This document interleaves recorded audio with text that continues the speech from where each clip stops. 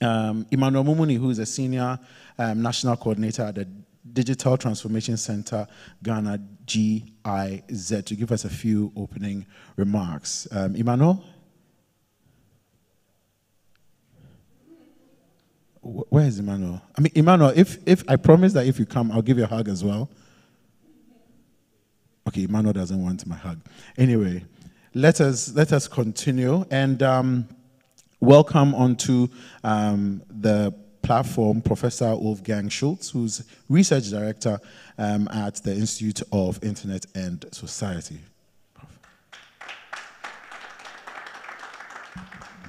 Thanks, thanks so much. Thank you.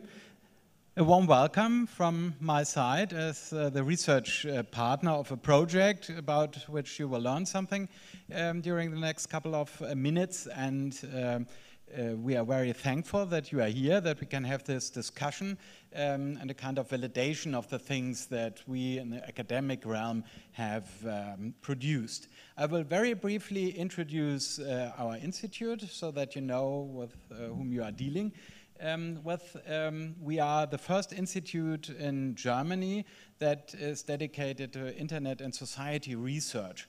Um, there were some institutes around, some researchers around before we were uh, funded, uh, and uh, they basically did things revolving around technology. And our focus is on internet and society, societal implications of uh, the digital uh, change. And we have uh, grown quite a bit. we are now 70 people, um, researchers from different fields uh, working on these issues and different research programs. And I would like very briefly, because I think it's good to, to understand our perspective, um, introduce our way of thinking about um, digital transformation. And one aspect which is extremely important to us is that we perceive technology not as something outside society, which is now uh, changing uh, society, but it is in itself a social construct. Um, and we are interested in better understanding how that goes about, how we can shape these uh, technological developments in a way that it um, benefits the society and individuals and is uh, uh, in line with uh, human rights and other values that we share. So that's the first thing uh, we find important in our research. The, the second one is that we don't really believe that there is an inherent tension between innovation and governance. That is something that uh, comes up very often when it's about gig economy, shall we regulate here or not? Um, and then um, you can say, please be careful with regulation that can hamper innovation here. And that's true in a sense, but it needn't be true. And we are extremely interested in finding intelligent instruments of regulation that are innovation friendly or even support innovation in a way. Uh, but to do that, you have to be innovative in terms of governance as well. And that's something uh, we want to um, uh, be part of, of this conversation, um, how to, to govern the uh, society, the digital society, um, in ways that do not um, hamper innovation if possible. So that's a second element of our um, of our thinking here. And um, maybe the um, most important thing is um, we are interested in the impact of research. We are not just uh, ivory tower uh, people just uh, producing papers. We do that, and we have to do that uh, in academic life, but we are also interested in societal impact of our research. Um, and you will see that the project types we have and what brings us together here um, is something which very much has to do with the real world impact of, of research. And finally, from the beginning, we had the, um, the uh, feeling and the belief that when we talk about these issues, it's something global. We do not just have to study things in Germany, we have to interact with other researchers, with colleagues, with NGOs, which, uh, with other stakeholders all over the world um, to better understand the phenomenon. And that brings me to the uh, second point um, I would like to very briefly discuss, and that is um, the network of internet research centers. All centers like ours uh, working on internet and society issues around the globe. Um, we started that after our institute was uh, founded Um, and now there are over 100 centers all over the world that um, work with us together um, to better understand the developments. But we have still some white spots on the map of the um, NOC, and it was our ambition from the beginning to, to fill them, to find more colleagues to interact with, especially in Africa. Uh, we have some colleagues we are working with, but uh, there's room for more networking here. There is room for more um, of the African voice of researchers in the international community, and uh, we would be happy if that uh, can be um, achieved. And so that's one of our, um, of our goals.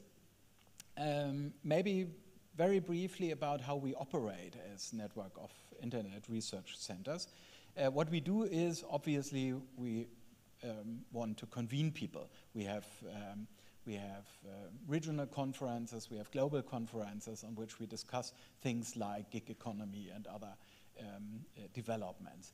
Um, there is also a teaching component there. We have summer schools, for example, and hope to establish some summer schools with uh, participants um, from uh, sub-Sahara region as well. And we have uh, created some formats of uh, knowledge production, which we believe are innovative in a way.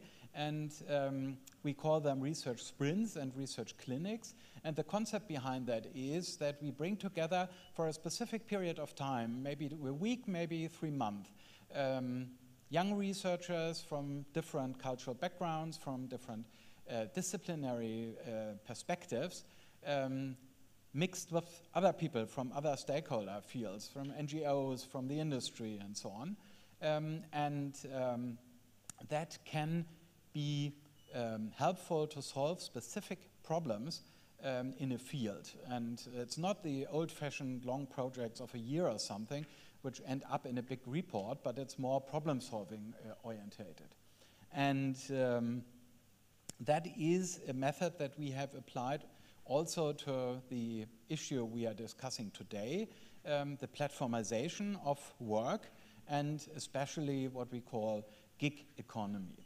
And we are very happy that for this um, double purpose um, to um, try to create a greater network, uh, especially in Africa, and uh, to solve problems in the field of uh, gig economy, um, that we made use of this concept of um, research sprints. We brought fellows together, and the fellows are here. Um, hello to you.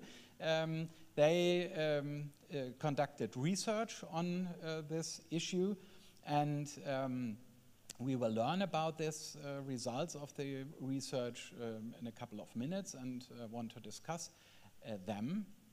And um, I think personally that it worked out beautifully um, to have a dedicated uh, team of, of young researchers from different parts of the world uh, working together and um, trying to better understand um, especially what gig economy means uh, for Ghana and what um, implications that has in terms of policy recommendations, um, for example.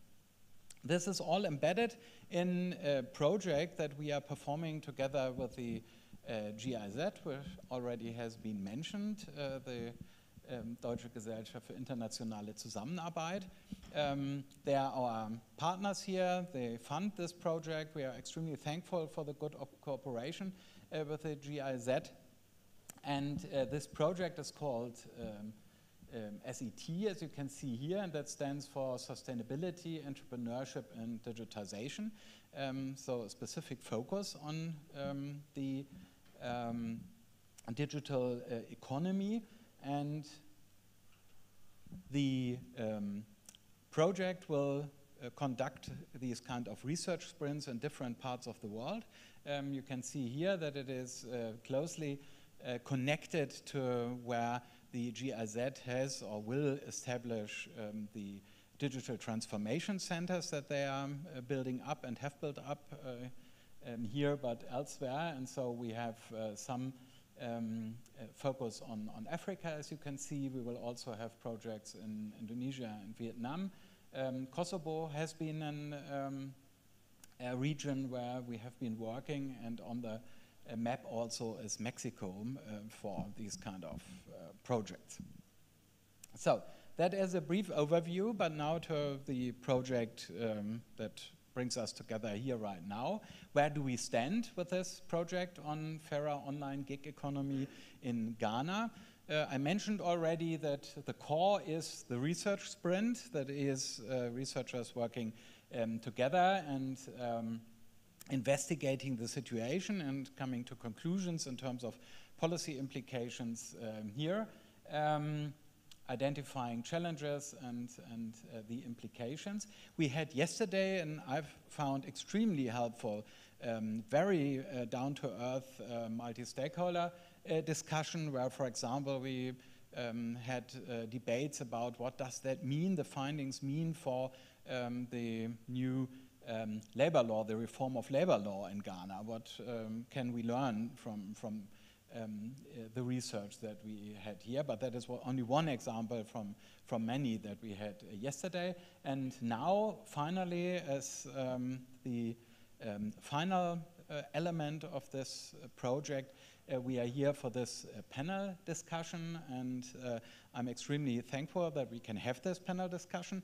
And my thanks goes to the panelists, obviously. Thanks so much that you are willing um, to discuss the uh, issues with us and uh, to the fellows. I mentioned them already. I'm extremely grateful um, that you dedicated your time, your energy, the, your expertise um, uh, to bring this about. And obviously also our friends and colleagues from the GIZ that uh, make that all possible. So thanks so much and I'm looking forward to the panel discussion. Thank you.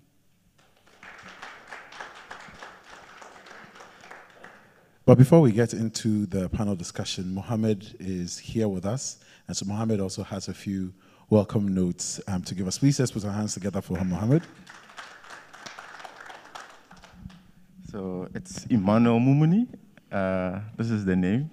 And it's really exciting to be here. Uh, I was here uh, already yesterday, and I see a lot of familiar faces. So it means that we did some good work yesterday, and we are continuing the conversation. Uh, but just to tell you a bit about what the Digital Transformation Center, which is uh, supporting this event, what we do uh, is that we have this mandate from the German government to work with the local or, or the Ghana government to uh, advance digital transformation. And the way we do that is to see how we can bridge the, the, the gap when it comes to uh, rural and urban gaps, because we know that these are gaps that are existing and we have a lot of positive stories to tell as a country. Uh, we talk about how the penetration of internet and mobile phones is going through the roof in the country. And these are things that we proudly talk about. Uh, but what we often forget about is that there's a big population in our country that are still left out of this uh, transformation that the country is, is enjoying. And these are people in the rural areas, who do not have access to internet, they do not have access to digital tools that could connect them to the rest of the world. So the Digital Transformation Center is looking at how do we bridge this gap, how do we include people that are not geographically accessible when it comes to digital tools. And then we also have, we also know that women are even more marginalized, marginalized when it comes to the access, the access that we talk about and uh, people living with disabilities are even further down that line. So we're trying to bring all of these uh, groups together to equip them with the necessary skills that would see them to the next level. And uh, integrated in this digital transformation center are other regional and global projects, which means that they are also implemented in other countries aside Ghana. So we have some focus in tech entrepreneurship, which is the Make IT in Africa, uh, working in Ghana since 2019, supporting tech entrepreneurship and supporting tech ecosystems uh, locally here in Ghana, and then connecting it to the, this regional perspective. We also are interested in e-commerce. So e-commerce is what connects uh, buyers and sellers electronically and ensures that we, we have access to the goods and services we need. Uh, there's a project within the Digital Transformation Center that is working with SMEs that are not um, having e-commerce as a revenue stream, and uh, we train them to uh, integrate that into their business models and then also working with government on the policy level. The policy level is really important for us because this is what guides action. Uh, so we're working with uh, the Ministry of Communication on how to come up with uh, or how to implement the e-payment blueprint uh, that was also supported by the Smart Africa Alliance. Uh, we are also particularly interested in emerging technology, so we are working in the area of artificial intelligence with a project called Fair Forward, and uh, there are a few partners here in the room that are working with this project. So we're trying to advance uh, artificial intelligence locally, ensuring that we have more and more talents that are in that space, but also uh, supporting in making data available because data is the fuel of artificial intelligence. So this is important for me to paint this picture uh, because I know there are lots of partners in the room, just so you know that it's a, a collection of activities that are happening in the center, and we are always open to collaboration. But I think this, this event is also important for us because even as we go out to impact skills in the lives of people in the rural areas that we are so, so concerned about, we uh, often get questions around um, the need for digital skills. So why people ask this question, why do we even uh, place a lot of importance on digital skills? And you always have to link it to some economic benefit because uh, this is what matters to them. They need to know how this relates to their livelihoods. And it comes back to the point on uh, gig economy because gig economy really opens your world up where you, you provide the services that you have to whoever needs it. And without a digital platform, it's difficult for you to reach people out of outside your immediate environment. So it's it's a concept that is not so new to Ghana because we've been doing gig economy uh, for God knows how long. But what this whole activity is about is how to use digital tools, digital platforms to really fast track this process where people uh, feel a part of this world that we live in and not just limited to their immediate environment. And we are super excited to be working with our colleagues uh, from the headquarters, mainly the gig economy flagship, because they are those pushing this really strongly, uh, but also the institute that has um, the strong, the strong mandate and strong interest, like you've presented, to support with the knowledge. And knowledge is really important because uh, once we do a good research, then we know exactly where to invest our resources what, what actions can be guided with this re research. And I know there was a lot of deliberation going on yesterday, and uh, today's another day where we build up on the knowledge that has been shared yesterday. And I would like to entreat all of you to, to really engage with the conversation, but also think about what you can take, what you can take from this conversation and what you can implement in your organization, your activity, and your business, wherever it might find yourself, because it's, it's a topic that is cross-cutting, it's a topic that affects all of us, and it's a topic that if we push well, we would benefit a lot from.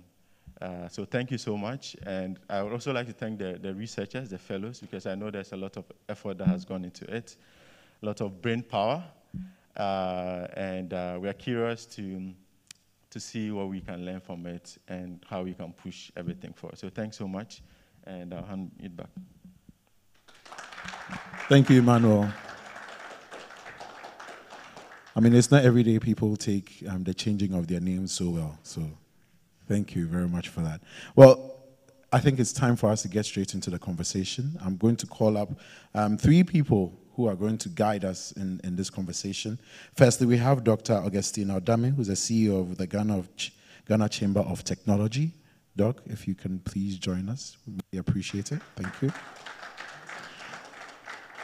Then we have Frank Kwesi Adeto, who is the National Project Coordinator, Scale Up Ghana, ILO. And then finally, we have Dr. Theophilus Adomako, Director, Consultancy Management, Development and Productivity Institute.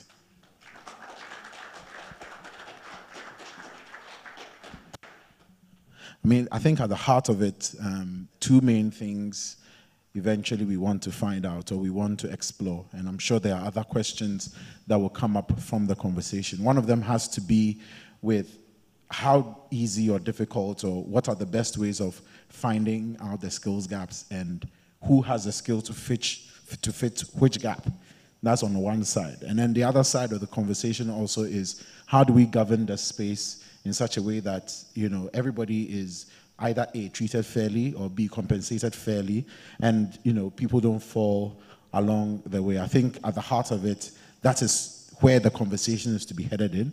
And I'm just wondering, um, your initial thoughts so far about the conversations that have gone on, um, and then we can get deeper into um, the, the issues that we want to discuss today. So, firstly, I just want to find out from you um, generally how the space is governed, generally how um, people within the gig economy find work, are found and given work, and then the sort of governance that exists around this space. I just want your general thoughts on that. Yeah, thank you very much. Uh, to be honest with you, um, this is a sector that is not, call it, well organized. So we don't have the framework that regulates the environment. So um, you have a friend, he talks to you, this is what is going on. So it's okay, can I also pick up a few things? And you also start, you know, working. So it's, it's quite difficult to identify the right persons to do what is required. You know, you may be lucky to get a good guy that will fit in, but you realize that there's a lot of, especially when we are challenged with uh, skills that relate to digitization and all. So it's quite difficult to, to have people the right fit for, for, for the environment. It's even worse when people know that, yes, there's nobody who is actually monitoring to see what I'm doing. And that, that creates a problem. So you want something delivered within a certain uh, space of time, but it is delayed. And of course, there are other challenges we have with the internet connectivity, which is a huge issue, you know, because here uh, data is very expensive.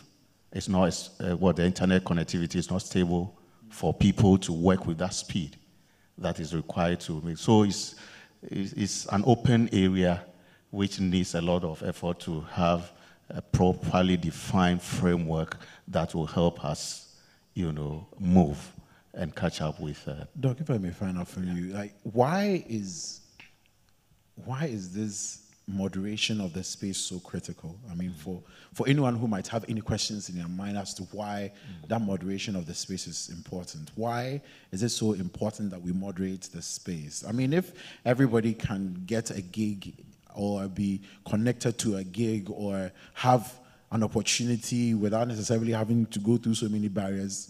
What's wrong with that? Philip, um, so I would say that the, so as you know, I'm not one to um, advocate or push for rushed regulation. I think that if there's going to be regulation, it has to be effective. And it's important to make sure that the right structures are put in place to ensure that anytime regulations are put in place, they are fit for purpose and they are effective, and that there's also structures and resources and willpower towards their enforcement. That is the only um, instance in which regulation will serve any purpose for, for which it is put to. Now, I would say that you, you mentioned earlier what is gig economy in the Ghanaian context, and the first thing that came to mind was pakpakpa, because really, the, the any work um, situations that we have is a gig economy. It's essentially talking about time limited work that you are able to procure to sort of help make ends meet, etc.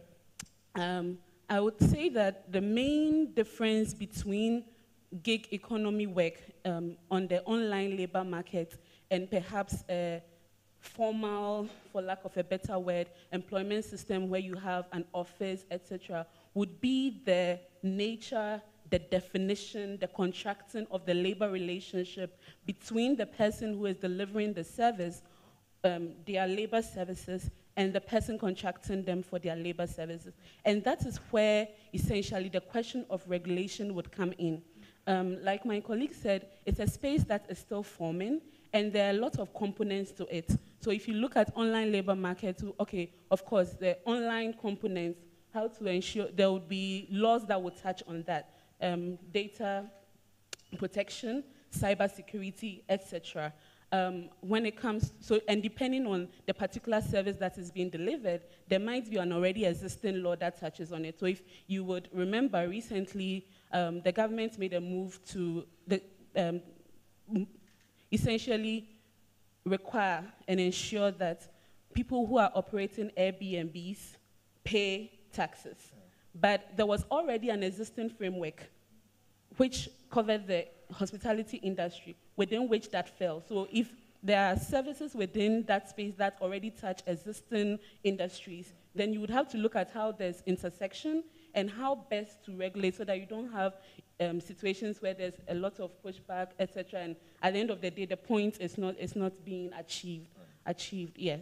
Um, and so the push for regulation would come, for me, would come along two lines. One, ensuring um, safety and security and the ability to fully explore opportunities within the space. And the second part would be the social protection, because once it's a labor issue, there are some issues there of labor protection, etc., that might need to be taken care of with regulation. But as always, I would say that it's important to really understand and also build on existing frameworks to be able to have effective regulation, not just any regulation. I'll be coming back to you later to ask you about what is existent and probably what needs to be added on, and I'll be coming back to the two of you on that. But Dr. Adoma, can I? I'm, I'm now starting to think through also the people who actually work within that space, these online labor markets, and what sort of skills that they need to have to actually exist in there. How are they being noticed? How are they being sourced? How are they being paid? Because at the end of the day, that's that's what really matters. Yeah. Like, how is that working out in Ghana specifically? Because the context, of course, for this conversation is, is Ghana. From your research and from your conversations and from your interactions, how is that working out in, in Ghana? The people themselves, because I think at the heart of it, they are the ones who move and make it happen. Yeah. Thank you for your question. Uh, indeed, uh, gig economy has been with us for a long time. Uh, we normally uh, have come across the word like by day, where a piece of job is given to somebody to be executed and the person is paid just after the work. It comes as freelance, it comes as people are hired on contractual basis, part time, etc., etc. But now, uh, the skill and the form uh, are growing because of current uh, technical, digital technology. The pandemic has also fueled it up. And then also, we as people have become a little bit sophisticated to the extent that we want quality of service for our uh, lifestyle. For a lot of us have been in it. If you take the musicians, the carpenters, painters, contractors, people who work on projects, road construction, most of them come under the gig economy. So, how do they uh, survive? They need special skills. First and foremost, management skills, because you must be able to plan, able to organize your work, able to contact your customers, relate well with them, so that they can give you uh, further uh, services for you to make a living. Another skill that is also required is entrepreneurial skills so that you can spot opportunities, identify customers, and relate with them. Then the almighty digital technology, which gives you a bigger picture to relate with everybody in the world if you want it to uh, go along that line. Then also soft skills. Negotiation is critical, team building, then also customer service. For customer service, we all know we have a big problem in the country.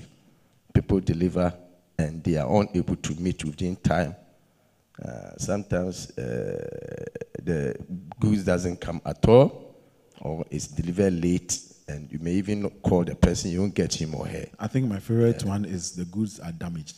Yeah, exactly. Yeah. I, I don't know why I experience it so often, but yeah. So these are the few skills that you need to get, but you must also not lose sight of the fact that some of them who have practiced this for a long time failed to do the social protection issue. And at later stage in their career, they are disadvantaged and they put the blame on society. Uh, if you take our uh, musicians, etc., etc., they have so, so if you want to now look at it from that perspective, the social protection element will have to be strongly featured in the regulation so that we don't travel 10 years to come and somebody uh, is even down with malaria and he expects society to take him to hospital and if that doesn't come up the person take an offense yeah so i think these skills are very very important thank, thank yeah. you for, for, for that insight and um, frank i when when doc was was talking one thought um, hit me about first of all the, on the skills side of the conversation and even how they acquire the skills in the first place. Then the platforms on which they can showcase their skills. Like you were saying, it's not a very regulated space. And so a lot of things are kind of all over the place. Are we saying that that's the same thing? I mean, we've seen platforms, Upwork, and things like that globally. But why can't we have that sort of situation here in Ghana? And really, what, what are the policy gaps, for example, that from your experience you've noticed that we can easily plug to make it a more, you know, sanitary, for want of a better expression, space? Yeah, I think um, when, when you look at this carefully, you realize that most of people, most of the people who fall within this category are within the informal sector. Now, the informal sector is very huge in Ghana and also unregulated. So it becomes a problem. How are we going to formalize, you know, um, such a huge population of people? Yes, you know, people. I have gone to school or maybe went through apprenticeship under somebody, and I have my skill. I can do A, B, C, D.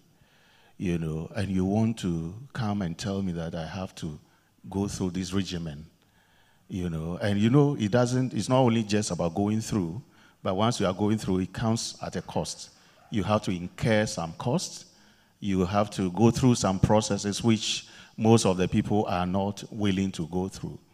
Okay, but it's important that we, we come to agree that yes, you can do your own thing, but you will not survive it, which is a problem. Where social, that's where social protection comes in.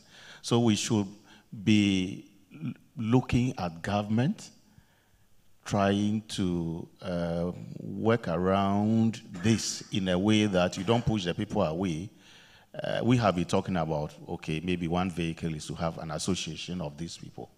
So if they have an association, then it means that there's somebody who is in charge, who can call them and they are ready to listen, can bring them together, get some people to walk them through what is required at the end of the day, they should understand that this works to their, inures to their benefit. You know, so it's important that we, uh, if we push too hard, they, they, they, they, they, they go off. But will, will that work though? We, because, I mean, and I could be wrong, mm. but for the last 15 years of my working life, there has never been a year when organized labor unions don't go on strike. I don't know if anybody who has a different opinion. Like, that seems to be the trajectory. We have a labor union, they are fighting for um, equality or they are fighting for, you know, compensation being improved. Like, it just seems to be a cycle that goes on and on. And the uh, online labor market seems to be like an avenue for us to figure out a new way around mm. the conversation. Yeah. So if we're going back into that same conversation of organized labor, having a union, having a leader. Aren't we just going back in that infinite loop? And that's what it seems to me like. Uh, not, not, not, not really. You see, of course, we have the challenge because of a lot of things. If you're an employer, you know, you need to rake in the revenue to be able to pay. Okay, but here we are looking at, call it the informal sector. Yes, you can be your own boss, but you need to take certain steps to uh, formalize your work, especially when, if you want more revenue, then people should know what you are producing. You know, but these soft skills we don't have. Somebody is in his corner, he's satisfied with doing, you, you mentioned it, I want you to give me an order, and it takes forever.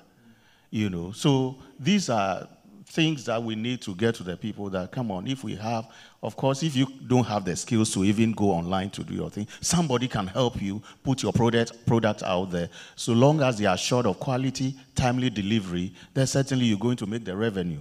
So people should know more of the advantages that this brings to us other than uh, you know all the troubles they think they are going through and that, that, that that comes with.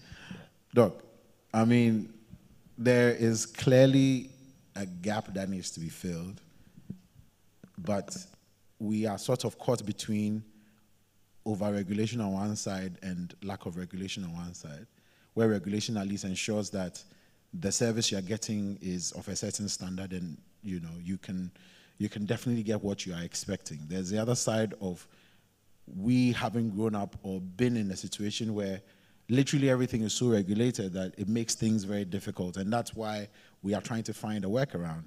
So, really, wh- where are we in that situation where, for example, with the labor laws as we have it in the country, the policies that we have governing work or the world of work, where are the potential gaps existing for an online working platform and things like that? Where are we? Because honestly, if I have to go back to what exists today, it's not very attractive. That's the only reason why I'm trying to find an alternative. And if the alternative is going to bring me back to where I started from, then why did I start in the first place?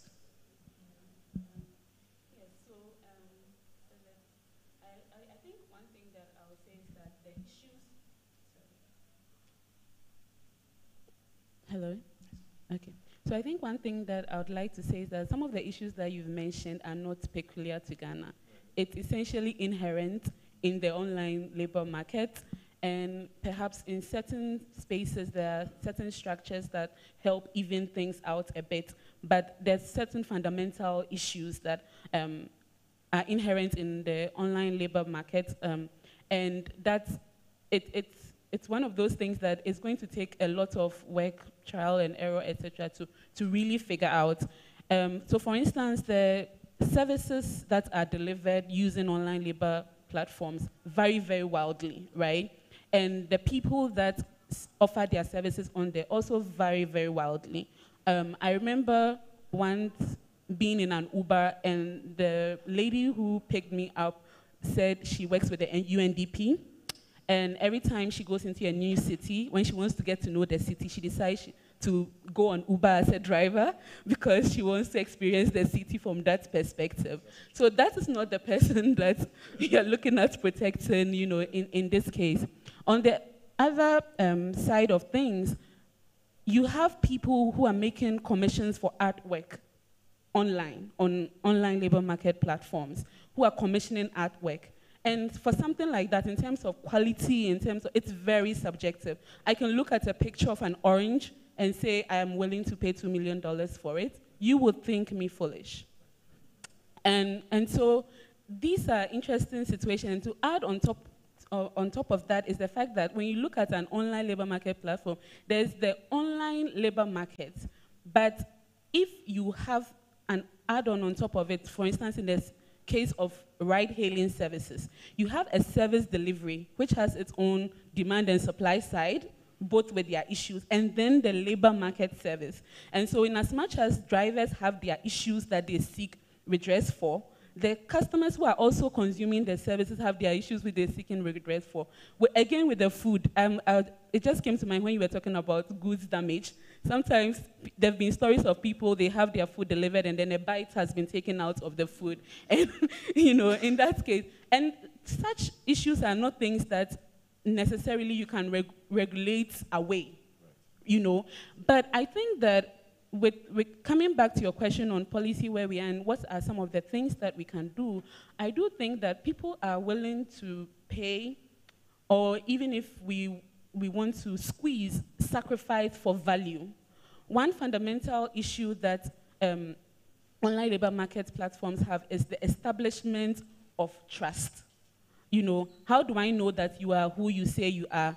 Um, I was recently involved in some sort of recruitment assessment, and where they were required to put a particular certificate, someone had put their confirmation um, certificate, for instance. And so there are issues that have to do with being able to establish some sort of uniformity, a basic level of service that, okay, if you say you are delivering this service, then these are um, conditions that make up a framework that we can agree. And I think that's where my colleague was talking about requiring the workers to sort of unionize, not necessarily in a union, but come together and create some sort of framework because it's a trust-based that guides system. them. That guides them. And they, they sort of have ownership of that. Yes, because it's a trust-based system. And so if, and um, I think that from the research findings that were presented yesterday, you find situations where already, because it's such a trust-based system, reputation matters a lot, and there are already some um, geographic locations that have been blacklisted on certain global um, labor markets. And even when you are not outrightly blacklisted, it means that if you set your location to a particular country, it reduces how much you may be paid for a commission by a very significant amount. And so these sort of structures that um, communities of workers, of artisans, etc., come together to put together. I think that's the right, the very right way, guiding frameworks to ensure that, okay, you know that if you employ, let's say, an artist from, from Ghana, there's a vibrant art community, so you sort of can expect XYZ, an artisan of this nature, X, XYZ. And um, I think those are the issues that we need to look at addressing. And if and there's also, um, additionally, the issue of fraud. And we mentioned the issue of data privacy. Because if I'm able to, you know, mine, a lot of us are not that data savvy. Um, or if you go to Tiptoe Lane, the number of laptops, etc., there shows you the access to people-sensitive documents that you could get. So I could get your um, degree, your ID, and put myself, what, if I look, if you have a huge beard, if you have a huge beard and I do... Uh, a few things, you know. A I few could, changes. Yeah, like, well, you know, I lost a lot of weight or I gained a lot of weight, so it's me, you know, that sort of thing.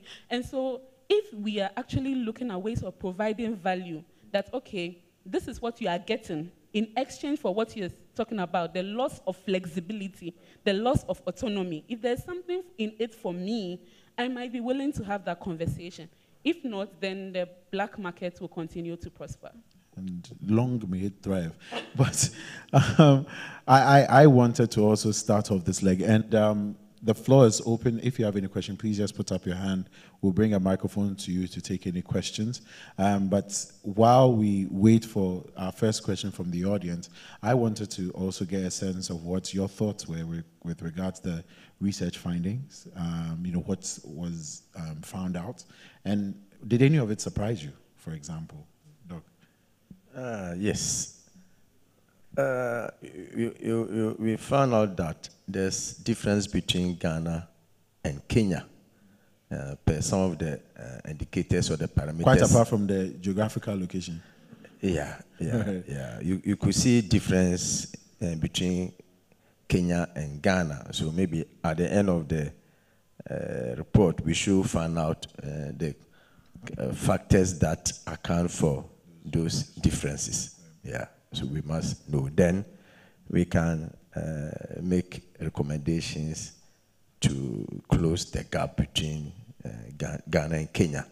Indeed, we are not too much uh, different per some of the socioeconomic indicators. So if uh, on the digital platform online there's difference, then we must be interested in that.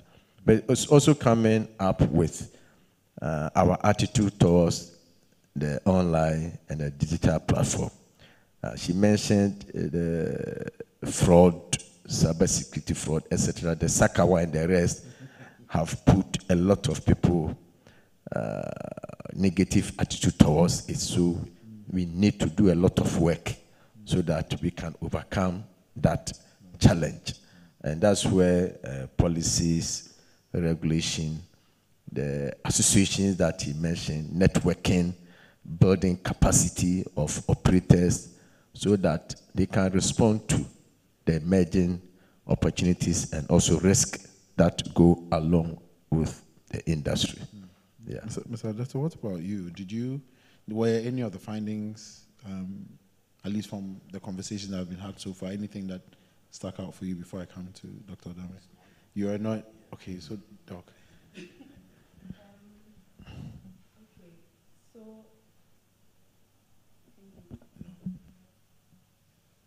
You can have, mine.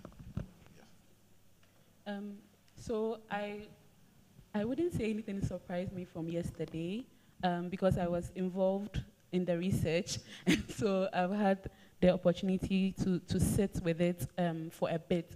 I wouldn't say something that surprised, but I think one takeaway that I came away with from the research, and that I think that it's something that um, we can all think through, is the um, the concept of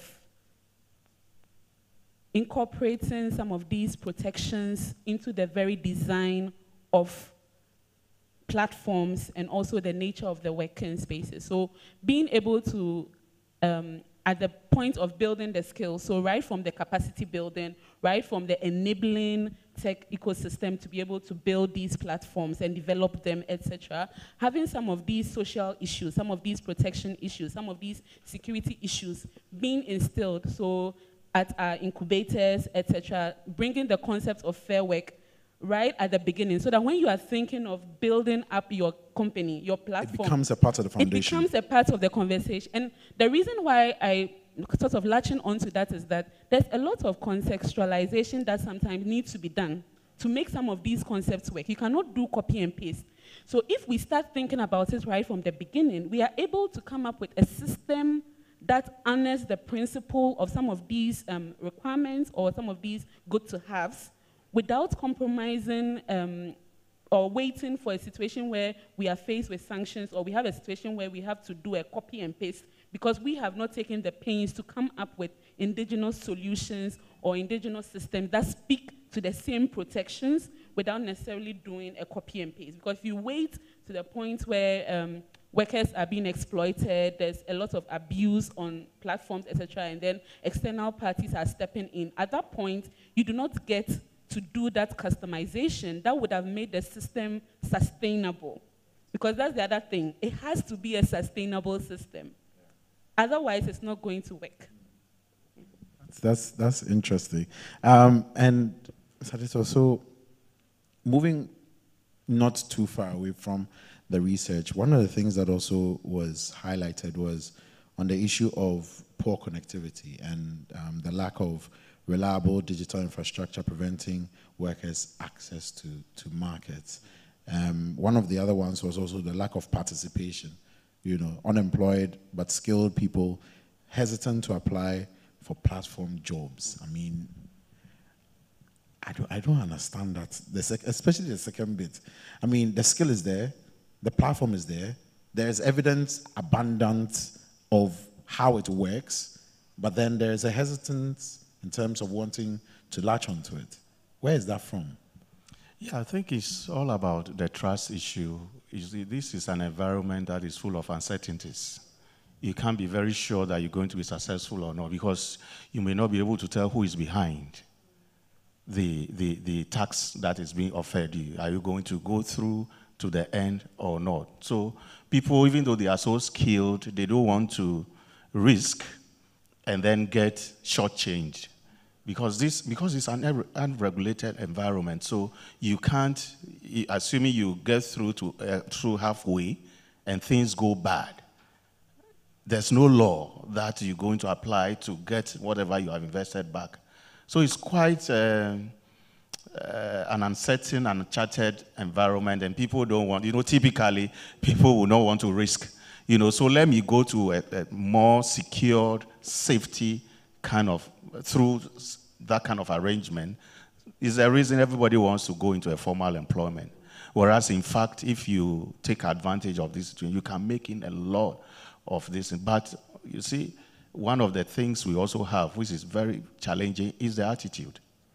You know, you must be very disciplined to work, you know, within this space. I mean, just take it.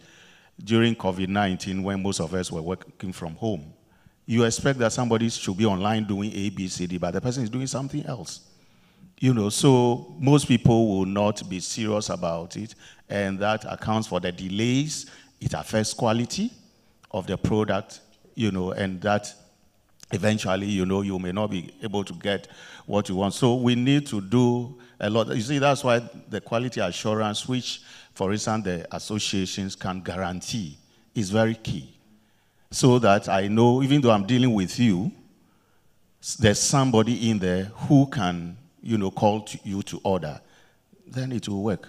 But uh, unfortunately, in our in our everyday and doc, if you if if you don't mind, in our everyday we have a lot of discrepancies um, against women, and it seems to have sort of from at least from the little I've read um, with regards to findings, it seems to have translated into the online gig economy as well. Um, how how can we work around that, especially from a policy point of view, to ensure, you know, like Dr. Um, Dr. Dami said earlier, to ensure that it's part of the foundation of whatever we are building, just to ensure that that discrepancy doesn't exist, that discrimination doesn't exist in terms of women participation in, in the economy. Okay, yeah, thank you. Uh, first is addressing the skills gap that has been mentioned we should have access to knowledge and also information so that whatever uncertainties and also risk that go along with this uh, online labor market system, they can be addressed. The second issue that can also help us is training and capacity building. Uh, that is also key.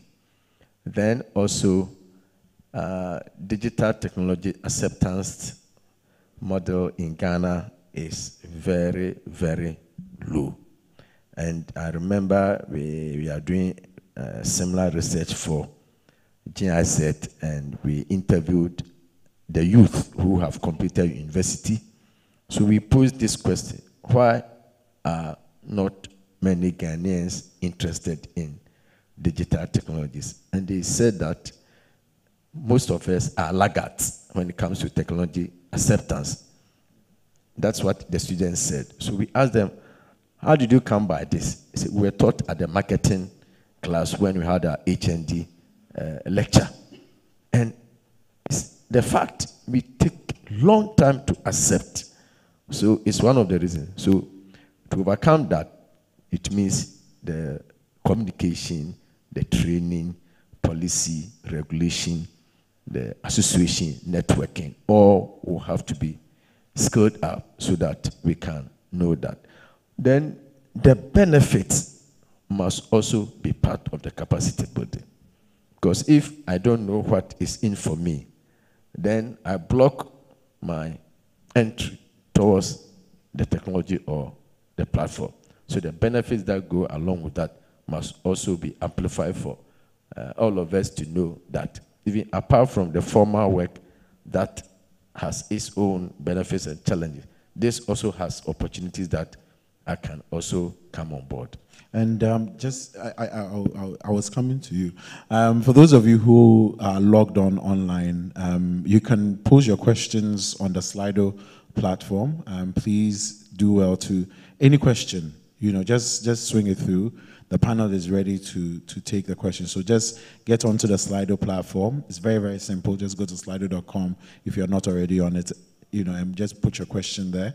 Um, we'll be more than happy to access the questions. And for those of you in the room as well who might have any questions that you would want addressed or looked at or um, for us to delve deeper into, please just let me know. Just put up your hand wherever you are. We'll bring the microphone over to you so we can address them. And I can see one in the back there. Okay, so I'll just quickly add on to um, his response to the last question.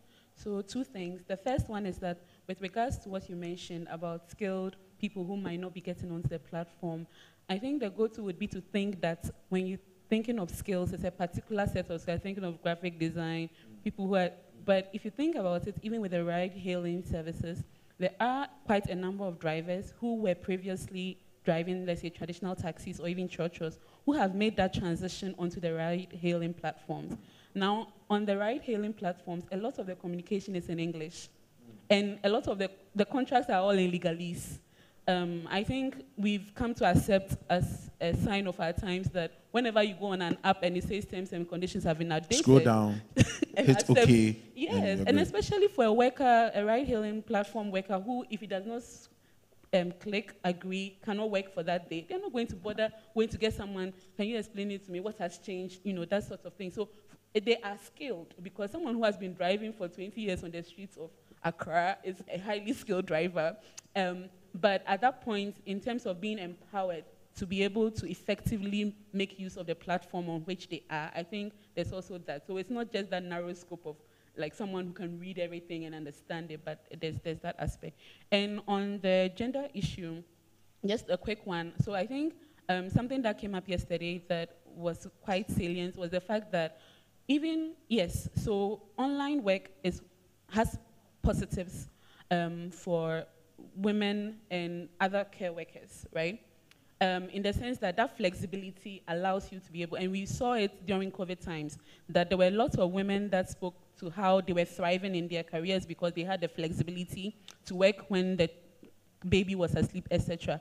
But at the same time, you realize that when you are doing online work, the baby or whatever needs your attention does not go away because you bring your laptop out. And so the same care and support system that are needed to support women being able to be effective in their work offline is also needed here. And we need to address, in addition to the skills gap, etc., that my colleague mentioned, also need to address those so that they are able to be effective in the online labor All right. market. Um, we had a question in the audience, and so Can I have one of the panelists? You, you can share. Where was it? Here? All right, thank you. Um, my name is Ernest, uh, Ernest Abwaje from MDA Voice Africa. Uh, I wasn't here yesterday uh, to listen to the, um, to the uh, research or the presentation. Um, I think the online marketing or business have come to stay. With some of the papers that I read, uh, more of the educated or people with bachelors or people with tertiary education can be found in that space, um, which is good. And also, um, it's more or less other people use it as a top up in terms of uh, employment to get more uh, wages. Um, Doc made mention of the, uh, the uh, ride hailing, and you see they've built up a system where easily the consumers, like myself, could easily identify with challenges, okay, and then um, the provider can be held accountable. Right, so for this large space, um, and I also agree with the fact that there should be some of cooperative so that most of these people can plug in. Um, if there's any challenge, if I'm a consumer and I get anything online, uh, you know, you can always um, uh, more or less complain or find a way so that this particular person can be blacklisted or whatever it is. It's, it's not there. So I just want to find out um, from the panel if they have, as I said, I wasn't here yesterday, but if there's any policy that is coming up that is actually going to um, address the concerns of the, uh, the consumers like myself, who more or less patronize online, uh, you know, products, okay, because it's not going anywhere now. So I just want to find out if there's any steps that have been taken to do that. I'll be glad. Thank you.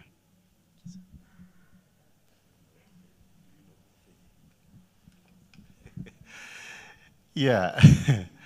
honestly, I don't know of any uh, policy that is uh, in the pipeline, the way we say, to uh, regulate this. Um, so that's why we're looking at the other route of uh, having these kind of cooperatives associations that serves as a guarantee spots for the clients. Otherwise, uh, because you see, it's an area that is quite difficult to, to regulate, you know, and so we, we, we, we, we still have to continue engaging, but as uh, uh, the other panelists said, we need to educate a lot more people to, you know, imbibe into themselves these ethics, you know. Uh, once we are able to have that, then people should have the assurance, but honestly, it's, it's, it's, it's quite difficult. It's still uh, a blanket sport as well. Is it, is it that it's so complicated to regulate or is I just want to give us an answer. Is it that it is so complicated to regulate or is it that it's a bit of an inconvenience to regulate? Oh Oh, I wouldn't say it's complicated. Uh, it's just after COVID that uh, our attention uh, is growing more on the gig economy. Uh, before COVID, uh, few of us put much emphasis on that. So I believe that this gathering and also the study report will make some recommendation towards regulation. There are other uh, gatherings and research work that are also ongoing. So, in no time, I will expect that policymakers will come to a conclusion that we must regulate. Then the specific ministries can be taxed, or SOEs, others can be tasked to come out with regulation. And you know, for regulation, it's an ongoing process. An act can be passed the following year, if there are some new uh, opportunities or some gaps, it can be amended. Yeah, so it shouldn't be a problem regulating it at all. Dr. Adame? So um, I think that, so the particular question was in reference to the ride hailing apps. Mm -hmm. So while I do not know of any policy in the pipeline, I do know that there is some engagement there's some engagements that are going on. Mm-hmm. Um, so for instance, in one of the interactions that we had, the online um, Drivers Union, which um, is a cooperative of drivers who work within the ride-hailing space. They are working to engage um, government on some of their concerns. But this brings us back to, um, and also I think for the labor market aspect of it, I think the the current Labor Act is old. It's, it's very old. so, but for, for, for our comfort, we learned we learned that there is one in the works, and so we can expect to see that, and hopefully um, it's going to reflect a bit more of our, our times. And, and That's interesting. We have a question in the back of the room, and then we have another one in the front as well. Okay, thank you very much. My name is Steven. Um, as someone who benefited from online work when I was in university, I believe there's not much awareness created about the gig economy because in Ghana, when it comes to unemployment, it's much louder when you see a lot of um, graduates crying for unemployment than people in the informal sector.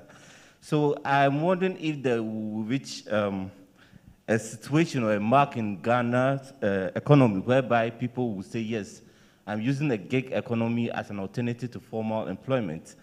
And also, it also boils down to the issue of trust that has been discussed. So until the framework and the, um, the, the policy aspect is being sorted, gig economy is still going on. Right now, the most popular part of the gig economy is even the catering services, where people can start um, uh, how do you call using the online platform to their kitchens. They set up businesses from their kitchen and they are selling. And all these things are ongoing, particularly when it comes to university students, because then when target university students, they kind of breach the digital literacy cap. You realize that a lot of university students are already um, uh, tech savvy. But until then, when they get out of universities, they're not looking at the gig economy as a source of employment. They are still looking at the formal sector. Is it that we haven't come to accept that it is part of, uh, uh, uh, uh, how do you call it, an area for employment?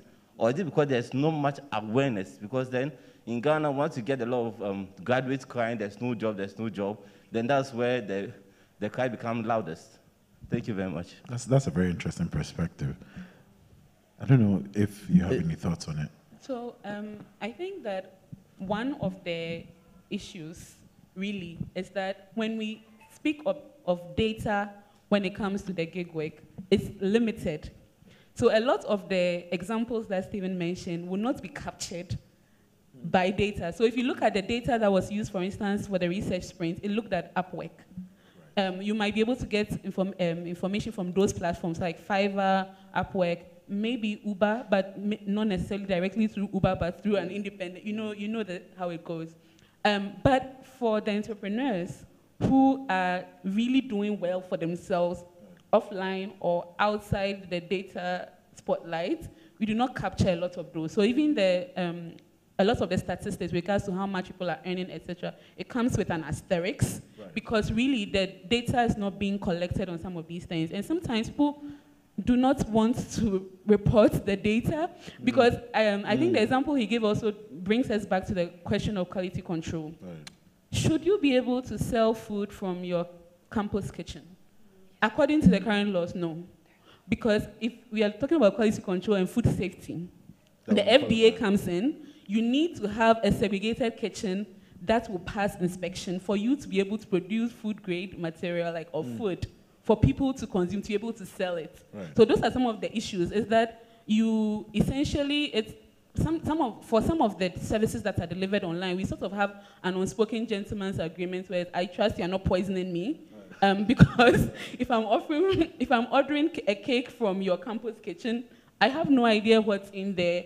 And I do not even have the comfort of the FDA to say, okay, I'm going to report you to the FDA if anything goes awry. And that's why we see a lot of online complaints, etc. But uh, yeah, so that's, that's the sort of trade-off. If we want to control some of the quality, the, we will end up, yeah, so, and, but for food, it's something that we have to do because um, for now we've not had big blowouts, but imagine if someone had a contaminated kitchen we could see people lose their lives, and then that's when regulators will have to step in. And that goes back to what I was saying earlier.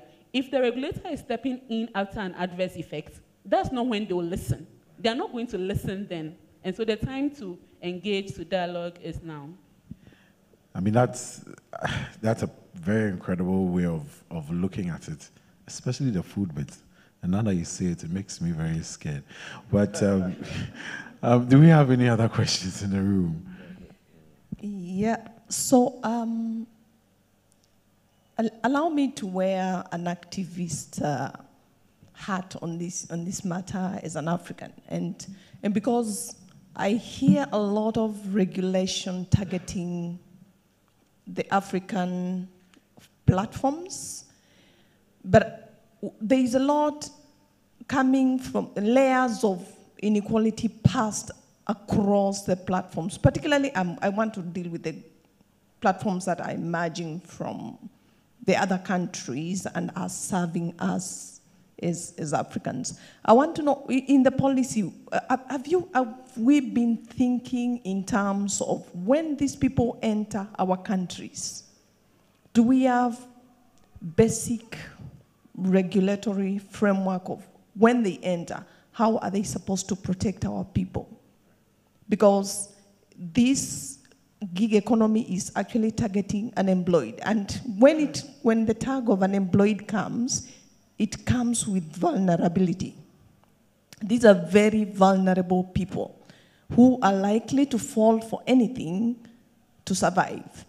Uh, and so, uh, so I'm wondering, are we, for how long are we going to be wearing this savage hat that, or let's allow them move around and give us the jobs because we need the jobs. And we keep a deaf ear to the fact that people are actually being exploited in the platforms. And I'm talking about different kinds of platforms. I, I, I, I would like to see our governments doing something in that space so that before even we get to the worker and the ethics of the worker and all that, because some of these workers are actually products of platforms that are rogue. So a, a rogue platform will produce a rogue worker. That's my question.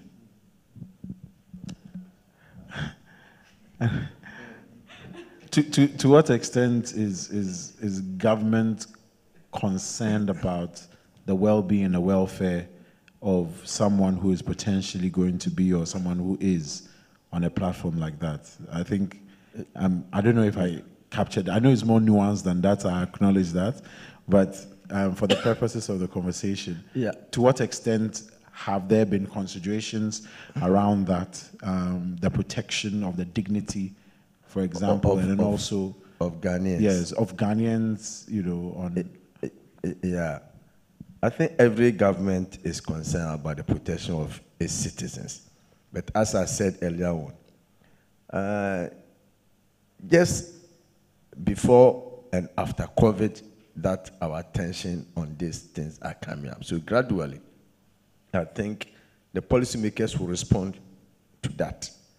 Uh, and we, we know we have Data Protection Act that also uh, requires operators to go through them. Uh, so I, I think that when the time comes, they'll respond. But, But the time is here, oh.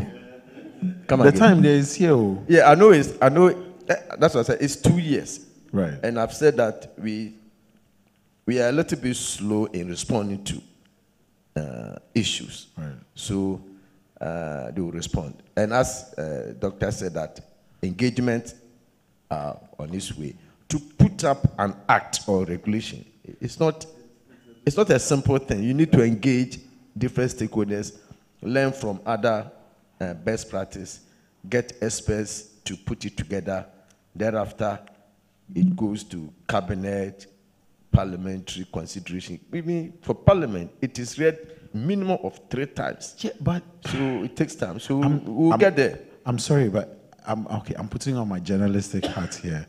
Um, like you said, it's been two years, right? I mean, COVID came, went, kind of, came back again, said hi, killed a couple of people. I mean, it's been two years. It was in existence before the two years came in. I mean, everything from Uber to everything else in between was there before COVID. So, was there a consideration even before? And even after the two years, what were you doing in those two years in terms of understanding how the platforms work, in terms of understanding whether there was dignified work even for the Ghanaian, in terms of being compensated fairly? What was happening within that period? And why do we have to still hold on and hope? Because that's what it sounds like. It sounds more like a hope situation than something that is imminent. And, to add on to what Philip is saying, I, I fear that given the pace of technology, because you, um, in as much as so we understand the process, there's a process to developing an act, it can take years, etc. But I fear that given the pace of development of technology, if we do not develop and come up with a more dynamic framework of dealing with some of these issues, we will keep, you know, catching up to the detriment of the Ghanaian people. If we are Ghanaian lucky enough to even catch up. if, if, if, if we are lucky enough to even catch up. Because, for instance, if there's a, a, a complaint, collective complaint, for instance, against Uber Ghana, and it's brought to the table of government, and government now has to consult Uber Ghana and say, uh-huh, so you people, cry, what do you do? Can you bring us data that really helps us to understand what you do? And which of our laws applies to you?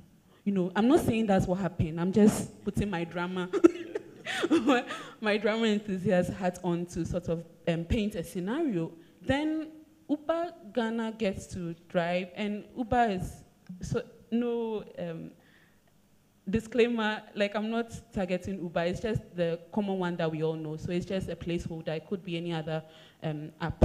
But if that point, the dialogue, that point of okay, explain things to us, help us understand, bring us data, and help us situate what you do within our law. You know, those are at the point where there's a complaint. It's too late. So there needs to be that more active, more dynamic information gathering, trying to understand, bringing them to the table. Uh-huh. So we've heard about you. You are here. What are you doing? And how are you making sure that uh, people are, even if you don't have a law that you know speaks directly to what they do. So you know the Ghanaian people are very dear to. I mean, I am really breaking this down to the basics, and it's idealistic, and the way I'm phrasing it might be a bit naive, but I'm trying to drive home, paint as a picture of what is at stake and the kind of dynamics that are at play here that we need to defend. Because today it's ride hailing apps with AI, machine learning. Who knows where the technology would be if we are dealing with deep fakes and there's some sort of online platform that is dealing with that. If government is caught pants down on our waist and has to catch up, like Philip is saying, we will not catch up. And so I think this would be my um, entreating um, not just, and this is not just the, the labor um, policy or ministry, um, but in general, government, I think that um, there have been, you know, we have a digital Ghana agenda. There's a lot of support for digitalization, but technology is very wiry, and we really need to have more dynamic policy frameworks for dealing with some of these issues that, that come up. Okay. Philip. Yes. May I, Prince, before I give you the microphone, put one question we got from Slido, Sure. so from the online crowd, to be fair about this. Sorry about that. So, talking about gender, we had this today. There is one question. The lack of participation of women in the non traditional sectors has to do with the mindset. Is there any initiative in Ghana to support women gig workers? Is there anything um, from the panel, rather from the research? Um, so I know that the number of incubators, etc. So um, and also some of the development partners. Um, so for instance, the GIZ, there's e-skills for girls. There are initiatives that are being a bit intentional in ensuring that when they have opportunities to reskill, upskill, etc., to close the skills gap, they have that more intentional targeting of, of women.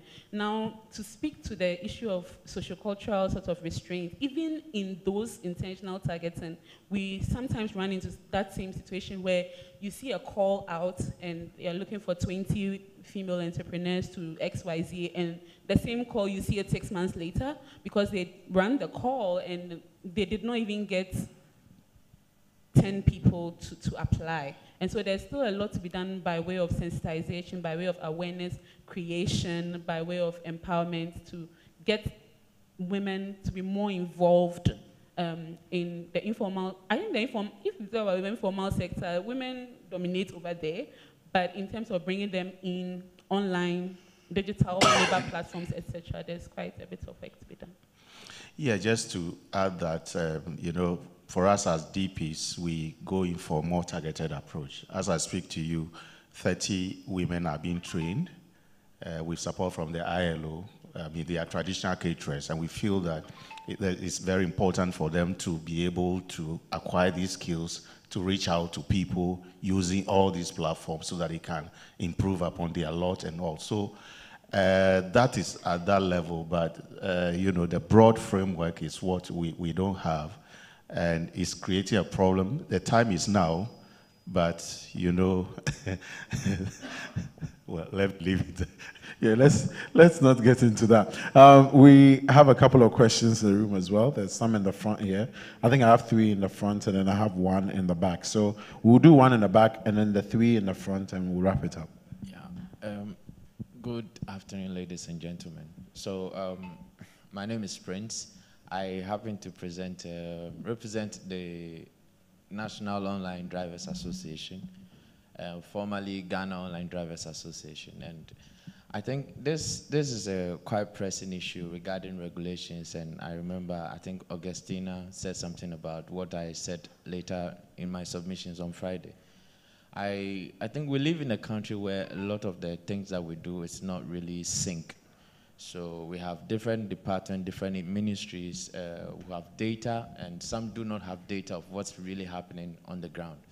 For instance, um, concerning regulatory is issues, we've been trying to engage a lot of the um, the organizations or associations from the government perspective on how best they can help we as an organization to counterattack certain issues regarding ride-hailing services.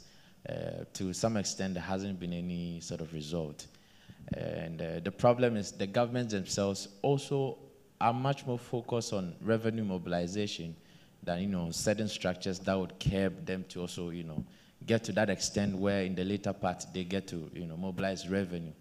So when you, when you try to meet the government, they are rather thinking of how best they can task we, the drivers, because um, they, now I can, I can boldly say now they don't have any mechanism on how to task online drivers mainly because you know the traditional taxi drivers, as we all know, normally you know get registered through the MMDs, the municipal assemblies, and all that. They have an obligation to pay quarter drivers licenses and all these things. Where if you don't pay, the city drivers, uh, city uh, guards would you know stop you from operating. But from the perspective of online drivers, it's totally different. The government doesn't even know how many drivers are online, how many people are you know basically providing services also because um, I believe that we don't have the system to also monitor some of these things. And you know, these foreign companies as well have this sort of data protection policy. They would come up with so many clauses as to why they can't release data to you as well, in terms of being a government. So I believe that um, the core issue is um, if, if the government is ready, uh, we are also ever ready to, to, to make sure it works because um, we need you and then you need us uh, we're ever ready. I mean, there are a lot of issues. Um, if we should talk about them here, we, I mean, I, I'm, I'm sure we, we may not close today. And, and thank you, thank you for the, the insight and the commentary as well. Really appreciate you joining us. We have three more questions, and we'll wrap it up. But then while we, no, the, the, the lady in the front here, um, the lady in, yes. Um, but please note that we have a little feedback form for all of you um, directly after the session. It's at the, the table um, where you registered. Would really, um, you know, plead with you to fill it out before you take leave of us. Yes, please. Um, thank you. So my name is Hilda Baraz. I work with the Tony Blair Institute. Um, I have a couple of questions. one touches on the report itself. I'm curious to know if the report offers any sort of recommendations, policy recommendations on how you can balance power between the digital labor platforms and the, and the users. Because I think to some extent, um, as, a, as, a, as a consumer of the platform, um, if I order something the way you mentioned and, and that the rider messes up with your order, you're able to lodge a complaint and you would be compensated, whether it's through credits or anything. But on the other hand, I think that there is a discrepancy in the the kind of power um, a user would have on the platform. So you could be blacklisted, whether it's from decreased ratings, or you could be kicked off the platform arbitrarily. Um, how, how are they, um, is there an attempt to address how you can balance power between the digital labor platform and the, the, you know, the service providers in that kind of um, respect? Um, and then the other question that I have um, regarding the research that was done, is the, has, has, um, has a typology of labor platforms been created for Ghana? So looking at um, the impact of digital labor platforms on future skills. So you have at the top of it, if you think of uh, Maslow's hierarchy of needs, you have the super highly um, specialized um, talent that would exist at the top, and at the bottom you sort of have like a, a dodge of um, un, I think, um, undifferentiated talent at the bottom. So anybody could sign up for um, rideshare, for example. So if you, if, you, if you think of that kind of typology, um, have, have the policy gaps been identified based on the classification of talent required and skills required for the labor platforms? And is there any thinking going into the impact on education in the future? What does this mean for, for the skills that Ghana needs to really invest in, um, especially when you're thinking of a more globalized um, world where platforms would be um, would present sort of like the the opportunity for the bulk of Africa's youth. So I've sort of like extrapolated that question slightly beyond um, the borders of Ghana. Absolutely. Well, thank you. Um, any thoughts on anything that from the research that potentially yes, helps? um, just, uh, for us, uh, we'll be working with the Ministry of Employment and Labor Relations to actually see how we can uh, have the platform for collecting data uh, on uh, labor market information. You know, it's something they've tried in the past, and we felt that it's important that we support. Now, in terms of the uh, skill gap analysis, uh, Commission for TVET, for instance, has commissioned PricewaterhouseCoopers to conduct a research. So there's a report on, but here we are looking at sectoral approach. We're trying to not, you know, go at it broadly, but look at specific sectors and see which gaps exist there in terms of skills. So that we have some reports, and as uh, ILO, we've been working with the sector skill councils or sector skill body, they call it, to develop skill strategies. And before we develop the skill strategy, we identify the gaps and make recommendations. So some of these reports are available. Some have been published. I know we published for agricultural sector, published for construction, tourism and hospitality, ICT, oil and gas. Uh, the others are in the process, you know. Uh, so uh, eventually we'll have this, but we'll be working with the Ministry of Employment and Labor Relations to establish the system. I know there's the World Bank support also to help them uh, have uh, a robust, a robust labor market information system and structure that will help us have the data now and also anticipate skills for the, the, the future. Thank you. Um, and just to add, and as much as I harped on government earlier, um, I put my researcher hat on. It's quite a, a, a, big feat, you know, that it has to tackle when it comes to this particular space. If you're looking at where the influencing should start, you, you mentioned education. So right from G, GES, if we want to go all the way with it, there's um, targeting and you know interventions to be done right from the very basic levels all throughout, and there's ways in which it touches the entire education um, value chain. And so um, from the research, there are some recommend policy recommendations that were made, and one of the points of yesterday's interaction was to ensure that you had the opportunity to listen to stakeholders that were present to sort of try and pass out some sort of prioritization. What are the main, because there is a lot to be done now. Digital permeates every sphere of, of, activity within the economy and therefore governance. And so there would be a lot to be done um, in, there's been a lot of ad hoc policies being developed to regulate or supervise the spaces which digital touched first there are some learnings from there that governments can leverage to see how best can come up with more uniform or common policies that protects the people, not necessarily from a, okay, I'm putting all of you into this box and regulating you, but sort of principles that then all the policies that are being reviewed for this year or are in the pipeline, etc., these principles then guide the updates of these policies and can help to patch up and also sync because now we still have a, a, quite a bit of siloed um, policies because of the way digitization developed in Ghana, but sync some of the initiatives, um, sync some of the efforts of development partners, etc., to make sure we get the most out of the efforts and the resources that are at hand. All right. Uh, Was there anything you wanted to add briefly yeah, before uh, we go? I, I want to uh, encourage uh, key operators to show positive attitude towards the online labor uh, market system. Uh, with respect to uh, my friend who represents the Online Drivers Association, uh, you now have a trade or a vocation that you have accepted to go along with. So we encourage you to do everything best so that you don't fall aside of the emerging technology that is found in this space. So you need to uh, support yourselves in terms of training, networking, then also reaching out to DPs, reaching out to the government, policymakers, researchers, so that you can also develop the industry that you find yourself in. If we always wait for somebody to take the next action, the time that we realize we might be a little bit late. So each of us has a specific role that you can play.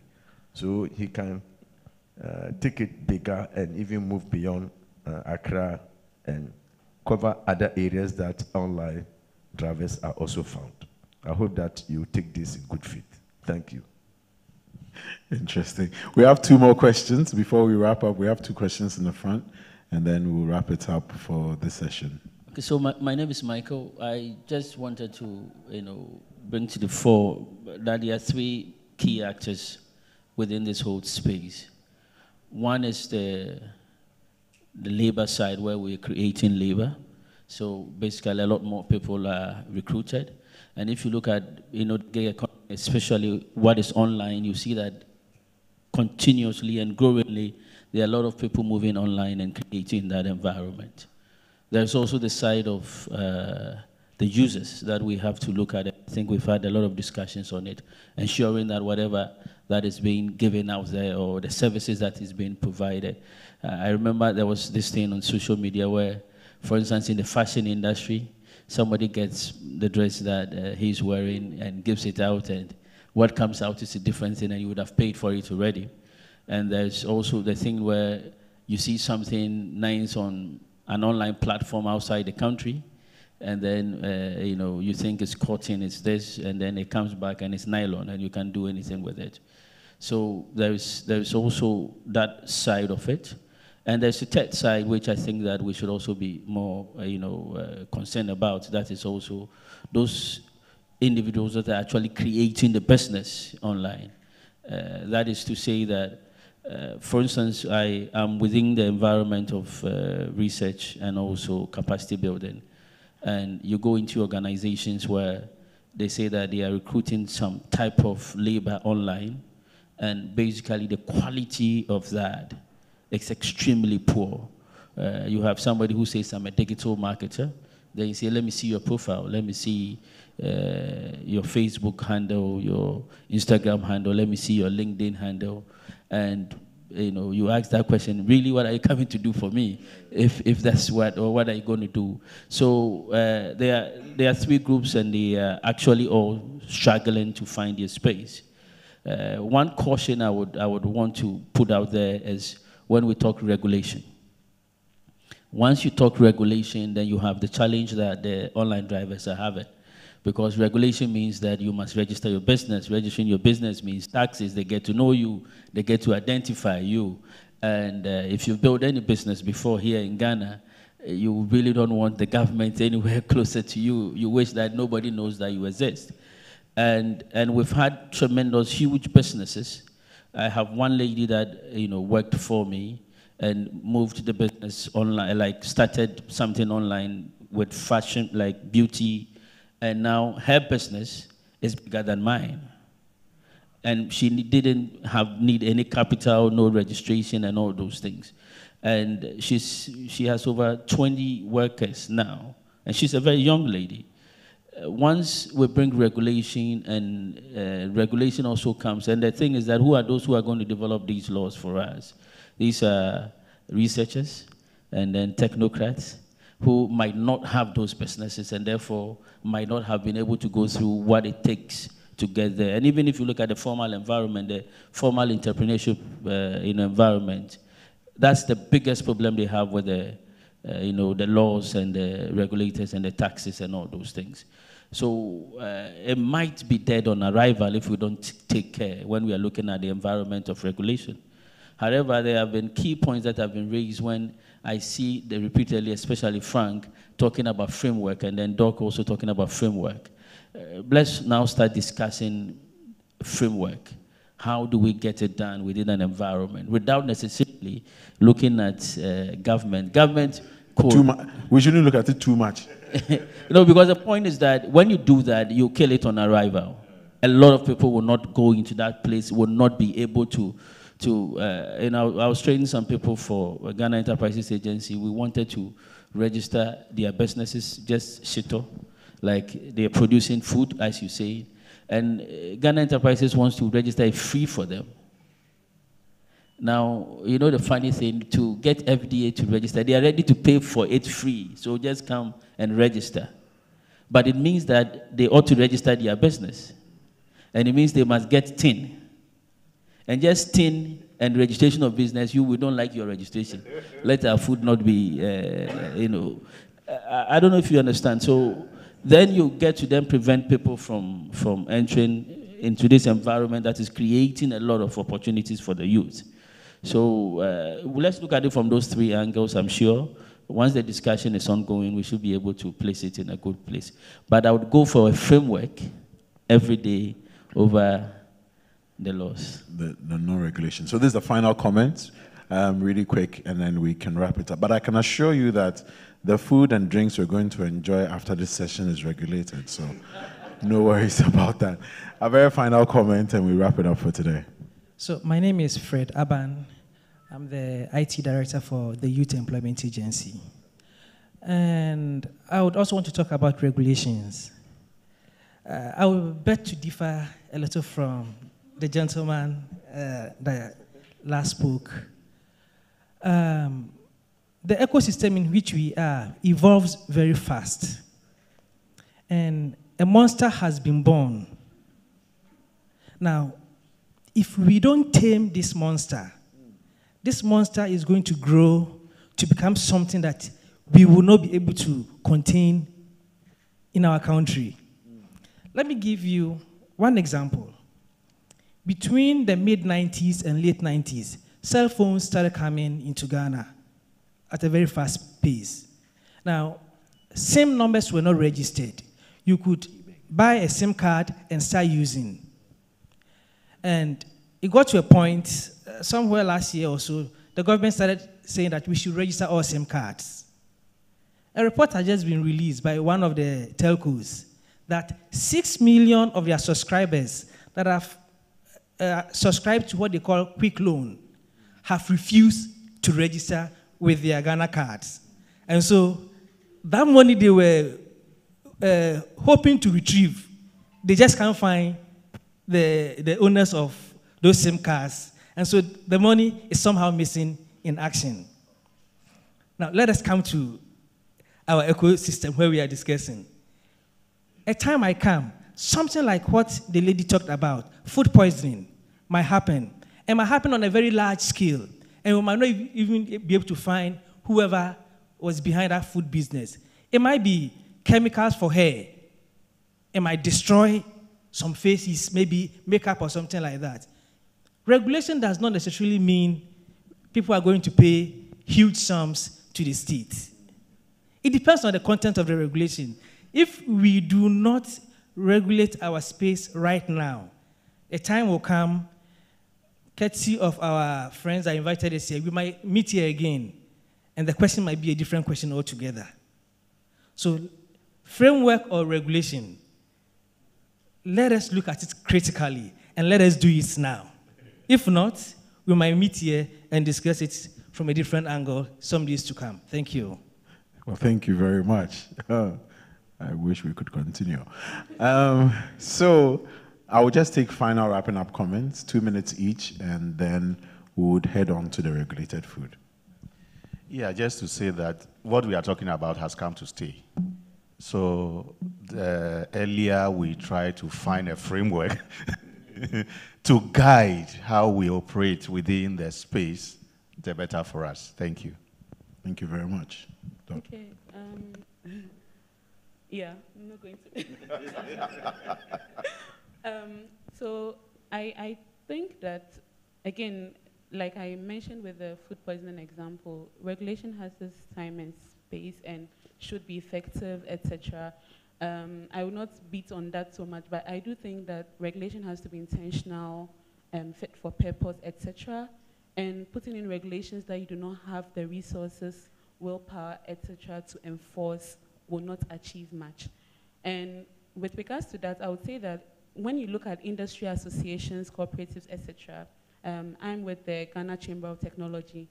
we have a great role to play over there because some of the conversations about self-regulation, of developing and establishing a guiding framework, even helps and feeds into regulation to help the regulation not start from scratch, but start from some level of understanding of industry so that the regulation can be effective both to support the industry that it seeks to regulate if it should come to that. Mind you, online labor market will not just be one thing that you're regulating because like we've discussed right here in this room, it spans such a wide breadth of services, um, but that it would be effective in its way because it's learning from industry, it's listening to the various concerns, and it's able to balance um, the interest at hand.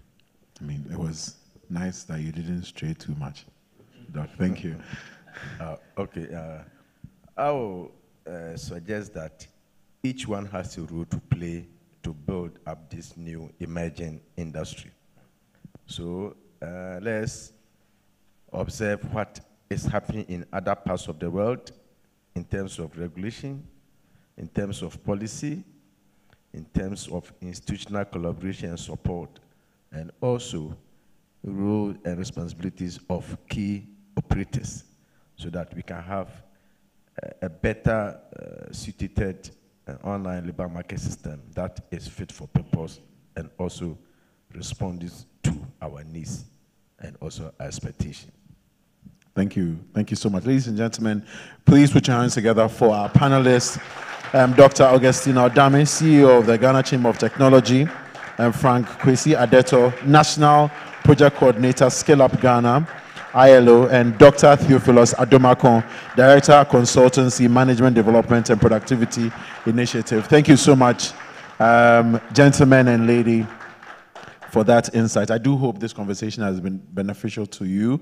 Um, personally, I know that I have an, an awesome show this evening that I'm going to play on radio. Thank you guys so much, and thank you all for your questions as well. Like I said, we have um, drinks and something to munch on outside.